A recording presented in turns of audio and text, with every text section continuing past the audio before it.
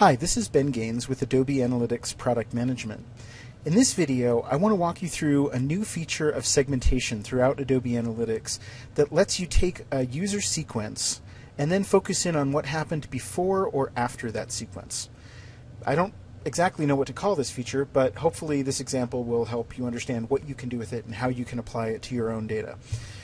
So you can see I've got a, a, Fallout visualization loaded up in Analysis Workspace, and I'm looking at what is basically a shopping cart funnel. Pretty straightforward stuff, something that we're probably all familiar with from our own lives. Um, but an interesting question that I might ask as an analyst is, this is my most popular product, the Timberline GTX boots. When people get to the end of the shopping cart and then they don't buy that product, what do they do after that? Is there another product that they go and look at? Uh, is there something else that they uh, that they, they head off in a different direction to do? So this feature makes it really easy for me to get to that insight. So what I'm going to do in Fallout, and there are plenty of ways to do this. You could go build your own sequential segment, but I'm just going to take a shortcut and create segment from touchpoint. You notice I'm I'm not starting with the order because uh, well actually why don't why don't I start with the order, and then I'll show you what I'm going to do. Now again we we want um, cases where people didn't end up placing the order um, in this in this sequence, right? We want to look at when they get right to the end of the shopping cart and then they bail. So I'm going to make just a few changes to this segment the way that it was generated for me. I'm going to set it to visit because I'm interested in these things occurring in a you know in, in a user's thought process within a within a session within a visit. Um, I want to change orders to does not exist because we're again we're looking for cases where the uh, the uh, customer did not place an order, and then I'm also going to um, set this to uh, within one page view. Right, so that that says uh, that you know as long as the order did not occur uh, on that next page view, we can we're going to look at what happened to to these people. Now here's where this new feature is is added. Uh, up at the top of my canvas here under definitions, you have this include everyone, and this is going to show up when you're building or working with a sequential segment. As you can see, I am here with my with my then uh, operators in between my my different clauses.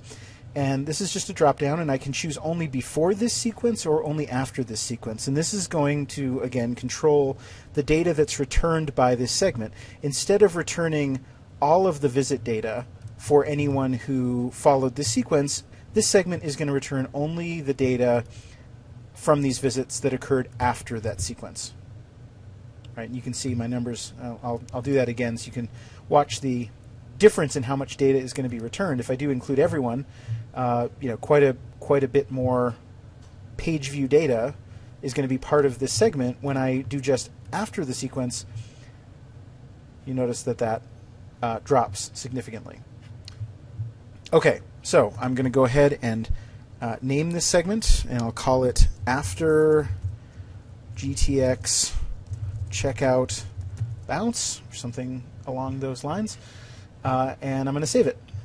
And the question I'm going to ask based on this segment is uh, what I'm going to come down here in my project, uh, and I'm going to add a new. I'm just actually just going to take product and drop it there on top of uh, on top of uh, product finding methods, and then I'm going to apply this segment under revenue, and this helps me see what products people looked at after they bounced out of the shopping cart, after they left that shopping cart process when they had added the GTX boots. So you can see that a, a decent number of them end up going back and buying the GTX boots, but there's actually another product that uh, they they buy even more than going back to their shopping cart, and that's the Wasatch Extreme Parka. So I right there gain some insight into maybe a product to recommend to these people as they're in the shopping cart buying the GTX boots. Maybe uh, get them to buy the Parka as well.